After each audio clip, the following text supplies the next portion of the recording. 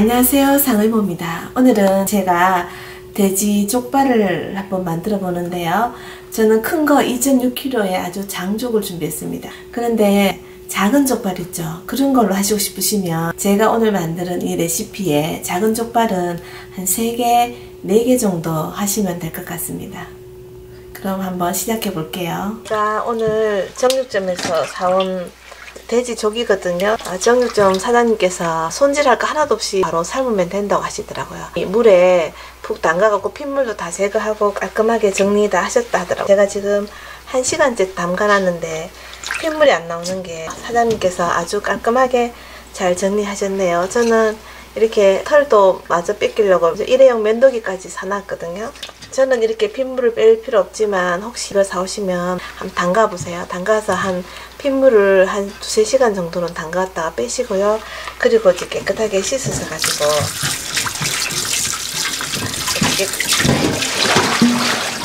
이걸 일단 한번 삶을게요. 삶아서 물을 버리고 다시 할게요. 이게 깨끗하게 씻은 돼지 발을 넣고요. 한번 팔팔 끓일게요. 물을. 10분만 끓이고 물 버리고 할게요. 소주를 소주잔으로요. 한 두 잔 넣고 된장을 듬뿍 한 숟가락 넣겠습니다. 자, 얻어온 거를 한 3입만 넣을게요. 한번 팔팔 끓여서 물도 한번 버리고요.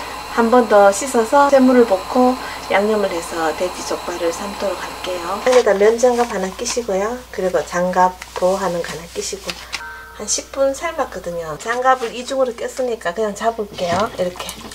이제 이거를 깨끗하게 씻어야 하는데요. 이렇게 한번 삶으면 살이 탱탱하거든요. 그러면 이렇게 보시면 털이 덜 뜯겨진 게 아까는 물렁물렁 했을 때 안 보이는데 지금은 탱탱하면 보이거든요. 이렇게 털이 덜 가는 거. 이렇게 해서 한 번 더 확인해 주시고요. 그리고 이제 씻었으니까 물을 새로 받아가시고요. 이게 돼지 속이 잠길 만큼 물을 넉넉하게 넣어주셔야 됩니다. 된장을요. 여러 식으로 두 숟가락 넣을게요. 진간장 3분의 2컵입니다. 매실 액기스 반 컵 넣습니다. 종이컵으로 반. 소주입니다. 소주잔 하나. 스텐컵이 종이컵이랑 같은 사이즈거든요. 그래서 물엿을 종이컵 하나 넣을게요. 생강 이렇게 작은 거세쪽 넣을게요. 자, 올리브 잎을 몇 장 넣겠습니다. 그리고 통후추 있으면 통후추 넣어야 하는데 저는 통후추가 없으면은 후춧가루 작은 스푼 하나 넣겠습니다. 마늘도 깎는 거 한 주먹 넣고요. 저는 마늘도 이거 냉동실에 얼려놨던 거거든요. 통으로. 그리고 여기에 아주 중요한 거죠. 어, 특유의 그 어, 족발의 향이 나게 하려면 이 팔각이라는 게 들어가야 돼요. 팔각을 쪽, 6쪽 넣겠습니다. 그리고 이거는 정향이라는 건데요. 이것도 향이 좀 강한 거거든요. 그래서 한 10개만 넣을게요. 여기서 중요한 건 팔각은 꼭 들어가야 되고 정향은 꼭 들어가진 않아도 됩니다. 뚜껑을 한번 열어볼게요. 이렇게 끓고 있죠. 이거를 불을 낮춰가지고 이제 서서히 좀 끓여줄게요. 물이 좀 줄어들면 그때 또 뚜껑 좀 덮어서 끓일게요. 그래야지 고기가 좀 잘 삼키거든요. 뚜껑 열어놓으면 빨리 안 익으니까. 고기가 너무 두꺼워서 이게 2.5kg였거든요. 고기가 2.5kg면 굉장히 살이 많은 거거든요. 그래서 혹시 이렇게 매운 고추 이렇게 말린 게 있으시면 몇 개 넣으시면 잡내도 없어지고 또 매콤하고 좀 맛있거든요. 매운 거 싫어하시거나 아이들 있으신 분은 안 넣으셔도 돼요. 그렇지만 또 매운 거 좋아하시는 분은 이거 말고 이렇게 푸른 청양고추 있죠. 센 거. 그게 더 매운맛이 더 많이 나더라고요. 이거보다는. 한 시간 정도 끓이면 고기는 어느 정도 익을 것 같은데요. 그 다음에는 이 국물을 졸여주는 시간이 더 있거든요. 한 1시간 반 정도면 될것 같은데요. 이게 국물 졸여주고 할 때 이렇게 뒤적거려주면서 하면 좋은데 안 그러면 바닥에 혹시 고기가 밑바닥에 붙어있는 부분이 탈까봐 그러거든요. 그런데 이거를 타지 않게 하려면 수시로 뒤집어지지는 못해도 이렇게 움직여주는 건 좋아요. 한 번씩. 이렇게 고기 어, 껍질과 냄비 바닥에 붙지 않도록 이렇게 움직여주시면서 자, 이렇게 계속 1시간 삶아주겠습니다. 이제 지금 돼지고기가 지금 한 1시간 정도 끓었거든요. 고기가 어느 정도 다 삶았다 싶으면 이 국물을 다 졸여줄 겁니다. 그래야지 국물에 넣었던 그 간들이 배이면서 더 맛있거든요.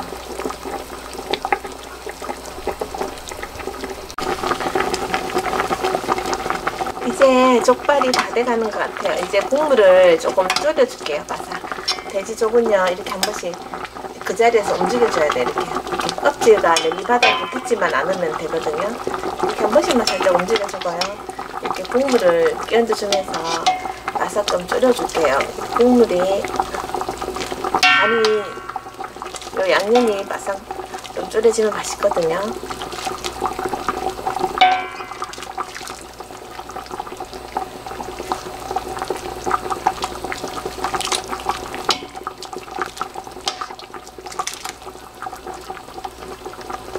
이게 돼- 족발이 뼈와 살코기가 분리되도록만 잘 삶아주면 되는데요. 너무 오래 삶으면 팍 문드러지거든요. 그러면 고기가 예쁘게 썰어지지 않거든요.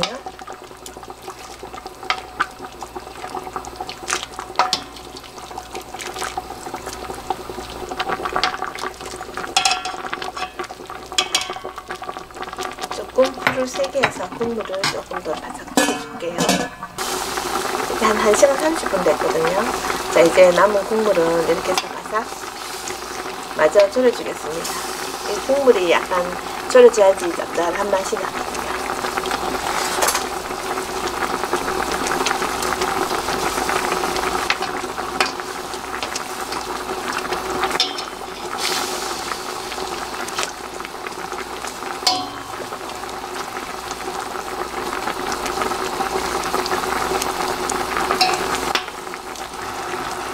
점점 이제 국물이 이제 점점 걸쭉해져요. 소스가 이제 걸쭉하게 이제 변했거든요.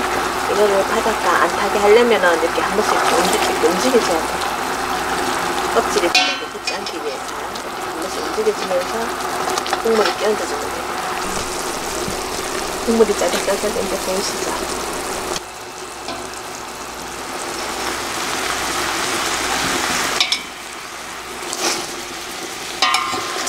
이렇게 움직이면은 안탄 거거든요. 이렇게 안 탈, 안 태우려면 이렇게 움직여야 돼요. 제가 이렇게 잼이나 아니면 이렇게 걸쭉한 걸 해보니까 냄비나 이렇게 찜속 같은 게 너무 얇은 거는 이게 잘 탈 수가 있어요. 냄비가 얇거나 하면 좀 자, 자주 뒤적거려 주셔야 되고요. 족발이 다 됐습니다. 이렇게 국물도 아직 안에 걸쭉하니 많이 남아 있거든요. 자 이렇게 이거를 이 정도로 졸여 주시면 돼요. 냄비와 붙어서 서로 타지 않도록만 한 번씩 움직여 주시면 되거든요. 그리고 얇은 냄비나 찜솥 하실 때 더 주의하셔야 돼요. 잘 타거든요, 그런 게. 소스로 활용하기에 조금만 떠놓을게요, 이렇게. 다는 필요 없고요. 이 정도만 하면 될 것 같아요. 자, 이렇게 해서 조금만 걸러서 소스로 활용하겠습니다. 이따가 양념해서 먹을 거고요. 한 1시간 식혔거든요.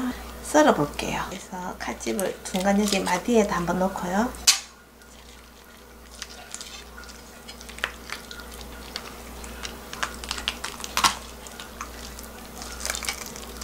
이렇게 떨어뜨려 놓습니다.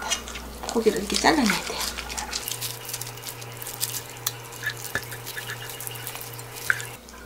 원래 고기를 담을 때 이렇게 뼈도 막 담잖아요. 이렇게 같이.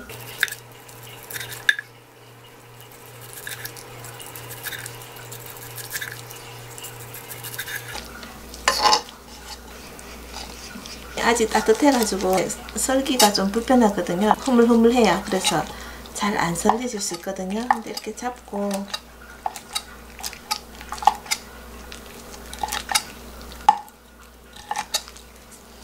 자 못생긴 거는 밑에 깔고요. 또 이쁜 것만 위에 올리면 돼요.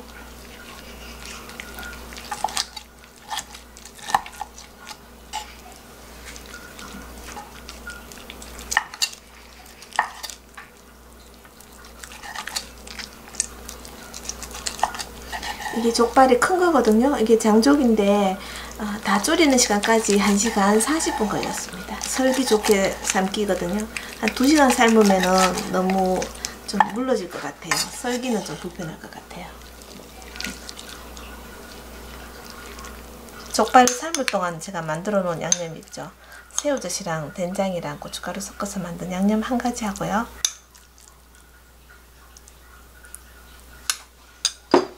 그리고 쌈싸 먹어야 되니까 또 된장 양념 필요하잖아요. 자, 올리고당을 자, 한 스푼 넣어요. 통깨 조금 넣습니다. 자, 마늘 조금 넣고요. 자, 이렇게 하면 풋고추 무치던 그 양념이거든요. 제가 이거를 된장 쌈에 먹으면 돼요. 이렇게.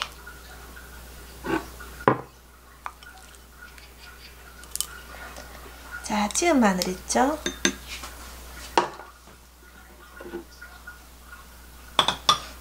마늘 조금 더 넣겠습니다. 그리고